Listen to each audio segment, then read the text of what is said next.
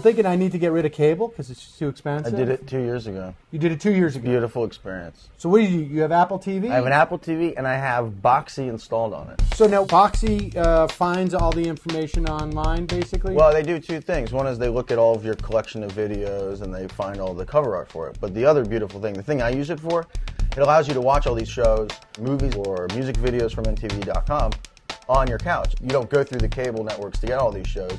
You just use your internet connection. I don't even need Sodaku or whatever the Roku, No, the no, uh, no. Well, Netflix box, because I can just do Netflix anyways. And right? Netflix is better on Boxee. They actually you can add to queue. I don't know if you've seen this with Roku or even the Xbox. You can't like search for new things. You can only see your queue.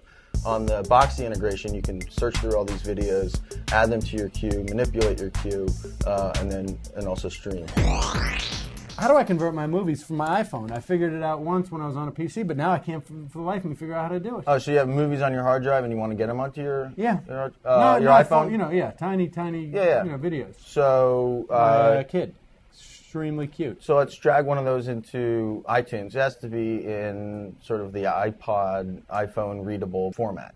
Right. Just drag that file right over the top of the the iTunes logo there. Yeah. See, I'm still getting used to that notion that I can just do that when I couldn't do it on PC, Right. and it's actually so intuitive that it's problematic. So it doesn't like the AVI. That's the problem. Is this on a flip? Uh, the flip cam or how do you? yeah, that was that was probably a flip cam. I can uh, So let's go. Let's go back into. I'll uh, find a different one, right? No, let's, a- no. Let's let's let's keep at this. Let's solve the problem. All right. See, that's that's the difference between your generation and mine. I just can't be done, So it opened in uh, QuickTime. right? Export Wait, I could just do it as an iPhone thing right there, movie to iPhone. Save. so I can actually. Pick the format. So here it is, right? It's in your desktop.